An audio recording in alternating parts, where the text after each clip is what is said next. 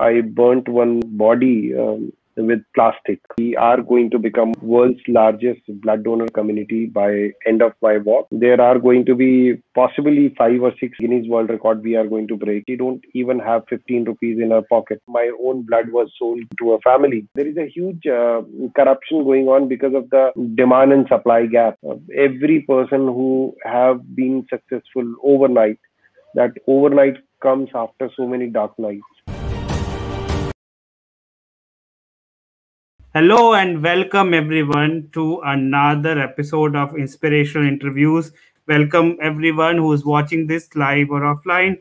I'm so so excited to have our next guest in this particular interview and we also have a special announcement towards the interview end of the interview so stay tuned let me help welcome a person who's on a mission to end any kind of death in india due to lack of due to lack of blood by 31st of December 2025. A person who is a founder of organization called Simply Blood, chief serving officer of Change with One Meal, one of the LinkedIn Power Profile of 2018. Help me welcome Kiran Verma. Kiran, welcome to the show. Thank you so much Thank for joining us. Thank you so much, Haritosh. Yeah, I, I, was going through your profile in LinkedIn. I'm, I'm a great fan of you doing all the stories, all the pictures, and I'm really, really amazed. So thank you so much. Thank you jo- for joining us. I know it took a bit of time for us to get settled on the time and all, and I know you are you are so much busy and you are helping so so much of humanity. So thank you so much for taking out time taking out time out of your busy schedule and being with me and and with the audience today. I'm all yours. I'm all uh, yours, Haritosh. And I'm really sorry for being late. No worries, no worries. Thank you so much. So, uh, can you tell us a bit about yourself? What has been your journey? What are things you have done, and how it had how had it been? And uh, then we'll go on to a few more things. Yeah. So, uh, journey has been very exciting. Um, you know, it's it's uh, a wonderful uh, to uh, work on different causes like uh, you know blood donation, feeding people. You know there are there are people who um, actually you know um, um, uh, need our help, who deserve our help. Uh, you know during this t- tough time, and I have been blessed that you know because of so many people support, we could uh, help such people. You know during the pandemic and and beyond uh, not just with blood, but uh, with food, with shelters, with uh, you know clothing, with sanitary napkins, and so many other things. So uh, I think I think uh, it's it's it's an honor and blessings both uh, when you have so many people supporting you in your mm-hmm. you know um, mission, especially when when you are committing more than a billion people that you know you, one problem of yours is going to be solved by a particular date. It's uh, not easy to carry that uh, thing on on your shoulders. And i have been very lucky that uh, because of so many people we we could uh, actually um, we could actually um, um, you know reach up to the level where where we are today that that's amazing amazing kiran. So but let me take you a little bit in the past. And how did this idea came to mind? How did no I, I believe you were somewhere working in the corporate and then you uh, no got this idea and moved to all this uh, work of no humanity and and this ngo work. So how did it all started? What inspired you? So uh, inspiration came when when i started donating blood on a regular basis uh, when I, I saw people in pain and you know because of their pain um, you know i could i could change uh, many lives with my blood. So i thought that you know blood donation is a very um, amazing thing and then we we should do it um, till the time we are healthy and then we are fine uh, later, when I got to encounter one incident where I, my own blood was sold to to a family, I realized that you know uh, there is a huge uh, corruption going on because of the demand and supply gap, mm-hmm. and because of that, people are forced to you know do those things which we often don't uh, uh, to be uh, human. So I thought that you know we are. Uh, I'm not going to. Um, I'm not going to sit like an ideal person and um, um, you know do that.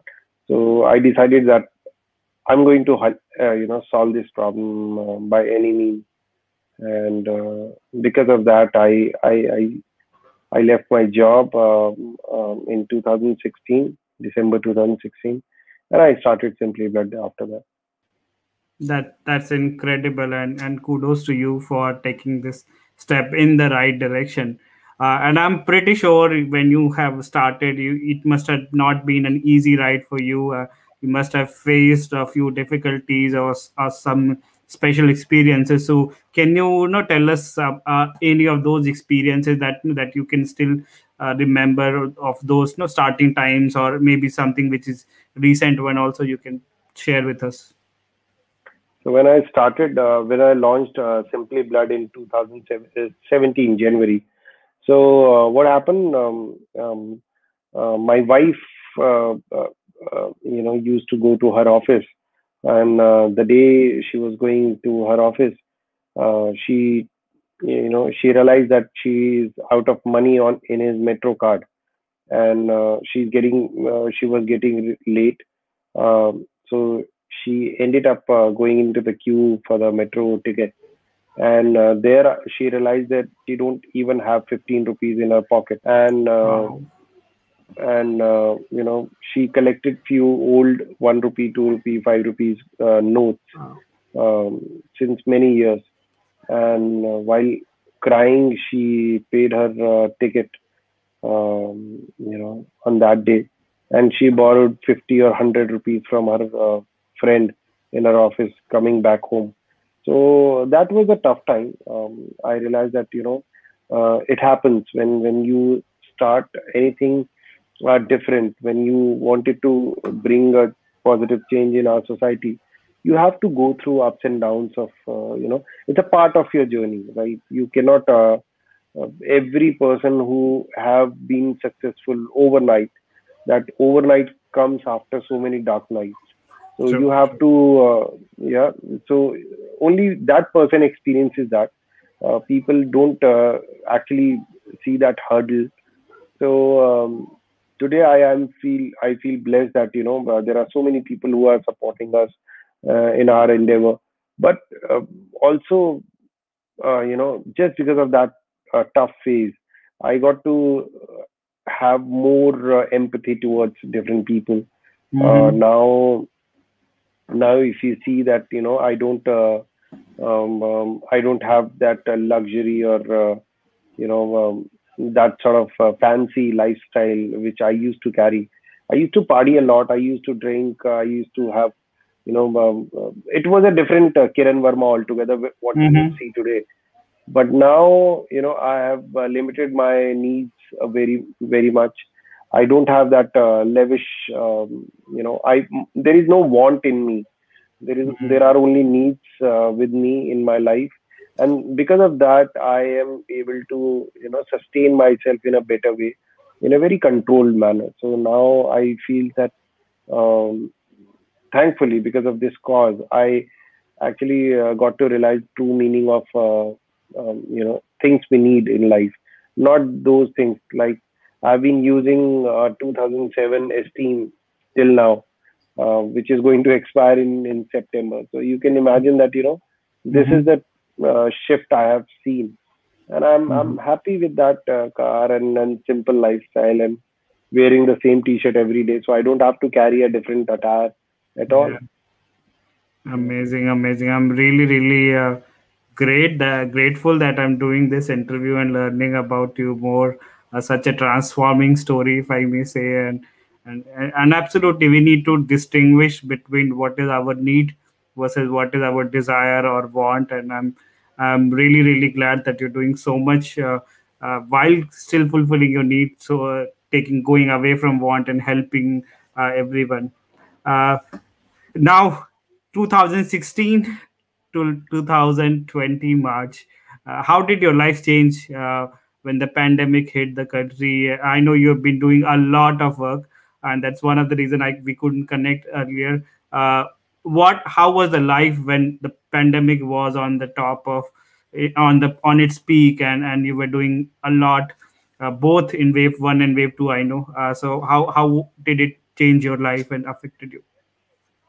So before pandemic, I was I was just focused on blood donation and nothing more than that. But uh, since I had uh, one uh, non-profit in place already, so uh, the day when when this pandemic, this lockdown one was announced way back in March 2020, so I thought that you know I'm going to help out people with food and provide food to the, the local um, you know slums uh, just uh, within within our our same sector. So I thought that you know let's let's help them out, and I started serving people uh, during that time. And while serving them, I got to realize that uh, there are many people who uh, you know there are girls who need sanitary pads, while Mhm. uh, and it was a orphanage, girls hostel you you would say. Uh, the area was conta- uh, containment zone so that is the reason people were not allowed to get inside. So they had no access to sanitary pad, and I was supposed to go in and deliver that. So I went there. While delivering it to them, um, you know, I also got to know that there is another uh, set of um, people who need uh, hygienic facility. Like they had, uh, they were uh, defic- deficit, you know, um, open defecation was Yeah. happening over there, and um, you know they needed some hygienic uh, you know hygiene over there so i arranged for uh, some portable toilets over there. Uh, it was a, a night shelter for poor people. Um, while doing that i got to also uh, saw that you know the cleaning is not happening over there. So i distributed uh, a few soaps detergents you know uh, gloves mask and and these kind of things. While while distributing that somebody called me that you know since you are doing this let's do a drive at uh, one um, red light area where you know um, brothels are are uh, you know looking forward for health. Mhm. and uh, uh, one red light area in delhi i got connected over there. So th- that time i i was uh, asked to help those people. Uh, we distributed uh, you know dry ration over there to more than 800 uh, uh, you know families um, Mhm. more than 2000 more, 2000 people over there. And um, it was uh, more than a more than a month uh, drive. I mean we we we uh, you know fed almost like one and a half months for, to them. Um, also a community of uh, more than you know two two and a half thousand uh, 250 100 2500 uh, people uh, in my local community.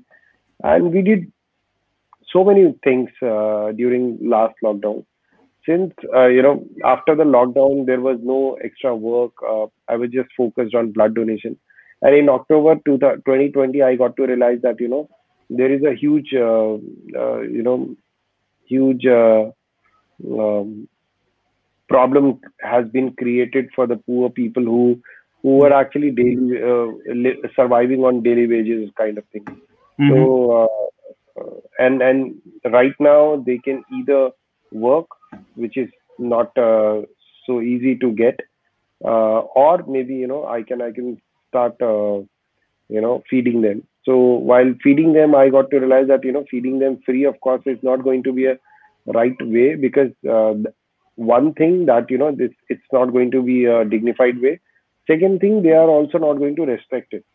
So for Mhm. that i i started uh, one outlet uh, where uh, we provide unlimited uh, meal complete meal for rupees 10 Mhm. and because of that uh, we started serving 200 people uh, initially in October 2020, and so far we have served more than 2 lakh people uh, since now, and uh, we haven't stopped serving uh, at that outlet uh, even for a single day. Um, not even a single day we missed out any meal, and because of that, uh, we created a, a special, uh, you know, pool of people who are very, very much, uh, you know, emotionally and uh, psychologically and financially uh, supported by us and by Mhm. our initiative. And, and I feel so empowered, so strong after going through all these things that uh, this year uh, when I- when we you know uh, when we went through this second wave of um, corona uh, you know i was getting more than 2000, 3000 calls every day for plasma for uh, you know uh, Yeah. vaccines for uh, different kind of uh, medicines and uh, you know i tried to answer most of the calls but of course not every call was Mhm. you know i was not able to uh, attend or answer every call. But yes, Yeah. I tried uh, my best to answer all possible calls. Uh, I used to sleep only two or three hours uh, during this time, but for two months I saw worst of worst in my life till date. Um, I have uh, buried so many life, uh, you know, bodies who were unattended. Um, um, I burnt one, uh, you know, body um, with plastic you can imagine polythene we, we had to burn because there was no wood left in that area. And the the the cremation ground was asking for 30000 rupees. I you know the family had no money and i was also not uh, you know cash rich to help that family. So i decided that you know i'm going to burn that uh, at um, the you know Yamuna bank. Um, and there we we were out of uh, wood where we so this was a very complete transformation so i we saw you know worst in uh, you know we saw the worst so far and also we we saw a glimpse of hope as well among people where uh, people were willing to help us, willing to support us, just because we were standing by their side. They were also taking into consideration to help more people, uh, you know, within their network or maybe you know around them. So this is something uh, we have created a ripple effect in our society and community, and this is something I, I feel proud of. That you know, I Mhm. uh, I I am one of those mediums to you know do so. That that's so heart touching to say. I mean, I mean, uh, burning bodies with plastic. I can't imagine. And uh, I mean, just to let you know, my mother passed away on March thirtieth, uh, just before the peak of the corona. And I, uh, fortunately, I was in India back then. But I I can't imagine losing a loved one and then not not being able to you know, give them the proper closure, a proper ending. Uh, this is heartbreaking uh, but as you said yeah, while a lot of people showed their true faces showed their face of you know, their cruel nature or something. There were people uh, and i'm glad to be connected to, a few people including you who really showed us the path of hope. And uh, there is still humanity left. There is still a lot of good and great people out there who are there to serve the community, serve the nation. So thank you for your services on behalf of all the people that you uh, helped and that you transformed their life, uh, served in some uh, other capacity. Thank you so much. Uh, we really, really appreciate that. Thank you All so much. Thank you. Uh, so, Kiran, I was going through your bio and I, I saw there's one interesting thing that you do uh, to raise uh, awareness for blood donation, and you have done it previously, uh, uh, and it has potentially led to 25,000 lives saved. And you are planning to do that again very, very soon. So, do you want to uh, unlock the mystery for our audience today? Yeah, so I'm going to walk all across India, uh, covering all states and union territory uh, for the blood awareness, uh, so that we can we can uh, make a one million blood donors community all across India. Uh, to do so, uh, why I'm walking? Because uh, walk is healthy for your body. First of all, it's uh, hmm free of cost. Of course, you can walk free of cost to any extent right and third is uh, it's cheaper than car and you know carbon footprints are low, lower So, uh, while you walk and third thing people also get to see the pain behind it right hmm when you walk people understand the sincerity behind the cause right? Yeah. when you walk then people also uh, can join you. Of course in, in a car it's it's not possible to accommodate too many people. But yes while you're walking you you have open road and an open sky to join as many people as possible right? So uh, and and you can shout out loud anywhere. Uh, you don't have to wait for people yeah. Right so uh, and walking i think i think that is uh, uh, if you if you see you know every great movement whether it's uh, you know independence uh, uh, struggle of india whether it's uh, you know uh, uh, some sort of uh, marathon or or kind of thing. Mm-hmm. whenever history was created right people have walked um, you know miles the, you know that every walk means a lot mm-hmm. even to right so even to reach to, to space we have to walk to the uh, you know rocket or uh, you know even to right even to dive down in inside uh, the water you have to walk till the submarine. So right so you you you have to walk every time right? Uh, mm-hmm. crawling is only meant for for for you know those who cannot do that but yes uh, if you walk then that's a very strong statement. And um, walking all across india of course it's one of its kind. And uh, certainly we are going to make world records uh, during this thing. Uh, there are going to be possibly five or six uh, guinness world record we are going to break or make uh, during this walk. And hopefully we we are going to become world's largest blood donor community by end of my walk before end of my walk of course. And uh, that is also going to uh, create uh, m- you know uh, masses about our mission 31st december 2025 the whole mm-hmm. mission is just to make sure that you know i spend one and a half years here and rest two and a half years uh, remaining.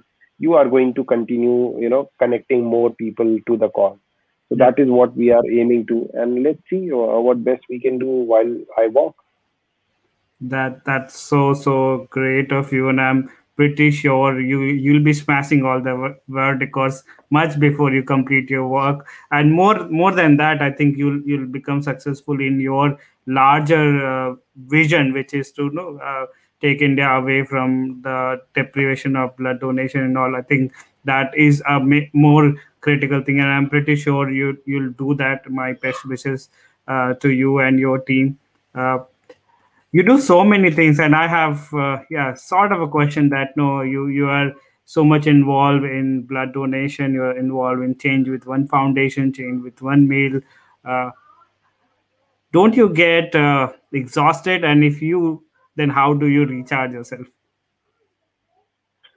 Uh, just to recharge, you know, you need to connect with people because they are the real energy around you. Uh, whenever, whenever you wanted to get motivated, whenever you feel down, you know, just uh, hug your friends, uh, you know, Mm, uh, kiss your kid, uh, you know, love your wife, and you know, just go around for no reason, right? Just be yourself mhm, uh, to recharge. We are not machines to to get recharged. We are human and uh, you know uh, we need uh, human connections to get mhm, recharged actually.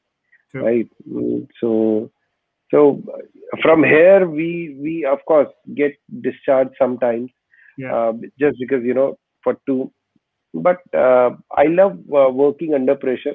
So whenever i mhm, have a task in my hands i love to work during that time. And uh, I focus more uh, during that time because you know I have to be more attentive to uh, deliver one thing at a time. So uh, right now I, I I love this under pressure phase where I have to prepare uh, for my app. I have to you know um, work on my uh, walk. I have to get permission from the different uh, departments and different ministries. I have to make sure that you know I'm up and fit and fine I am also losing my weight. Also, you know, my mhm, uh, I'm increasing my stamina because that is very much important during the walk. correct Uh, I I you know uh, uh, my ankle was injured uh, during my la- last walk. Um, I am just getting one psychiatrist, you know, a physiotherapist where you know that person is looking after that. Psychiatrist is looking after my one of my friends actually. Uh, she's looking after my uh, mental health, you can say. Mindset, yeah. So there are so many things happening right now, uh, and I have to look after so many people who are being served every day. I have Yeah. to look after you know blood requests which are coming in every day. So uh, you know, doing so many things um, uh, in 24 hours. I love this kind of pressure, and uh, whenever I do, I, I make sure that you know I'm taking care of everything um, in best of my possibilities. Of course, just like I, I got delayed today, you know, but I love that you know I gave uh, that half an hour to an old uh, person, uh, Yeah. you know, just to uh, give him some consult, you know, console him or or uh, you know some sort of support, uh, Yeah. psychological or mentally, so that he can uh, go through you know uh, he, that tough fi- tough time he's going through. So uh, it happens. I I, I really uh, I I cannot say that you know it's it's very easy to do, but yes, uh, being under pressure and then managing so many tasks is is challenging, and I love ch- challenging myself every day. Uh, amazing, amazing. So what I heard, two of the things. One is that you know, when when you uh, uh, love your work, uh, it is no longer work. Uh, it is your passion, and and it drives you. It gives you the fuel that you need to. And then yeah, if you challenge yourself, you probably will achieve anything that you can imagine at this point of time. So amazing. Uh, guys uh, i will be putting the uh, description of now how you can get connected with uh, kiran how you can donate to hi- his cause Uh, i'll be more than happy uh, we'll be more than happy to have him again please you know, invite him to your talks and other things now as i said in the start i'm going to do the announcement and and this is related to my book launch. So uh, as i as in the start of launch of my book i said that now i'm going to be connected to uh, one uh, organization uh, which really helps serve this. Uh, so change is change with one meal is something that i really really love about kiran. It is also related to a lot of small town people coming to big cities and then having to struggle. So now this is me announcing that now for every book that is sold on kindle we will be sponsoring two meals of change with one meal. I know it takes about rupees 15 to sponsor one person's meal over there. And uh, whatever i i do not care how many uh, copies are sold it's not for profit or money uh, but it's it's for the grand vision that kiran has and it's get for the noble cause that kiran is doing. I'm announcing this and this is our collaboration henceforward uh, so anytime my book is uh, one of my book is sold it it will be uh, once the paperback version is uh, version comes up we'll probably be announcing few more collaboration. And also i request and humbly request that no please support this guy. This guy is doing an amazing amazing job. Uh, please help him. He has a vision. He is a visionary leader. I can see him changing lives. He has changed 25000 plus lives already and he's on a mission to change million lives so please help and support him in the way in the best way that you can uh, thank you so much kiran for joining me i know you have so many things going on but this, you still took time out of your busy schedule i'm so so grateful for that Thank you so much, Haritosh. Uh, I'm really honored and humbled um, with your support. I'm really thankful to you. thank you so much so as i say every time until next time keep learning keep growing and keep going out of your comfort zone. I'll be back with another guest but please help kiran verma in his dream in his vision. Thank you so much. Have a wonderful day ahead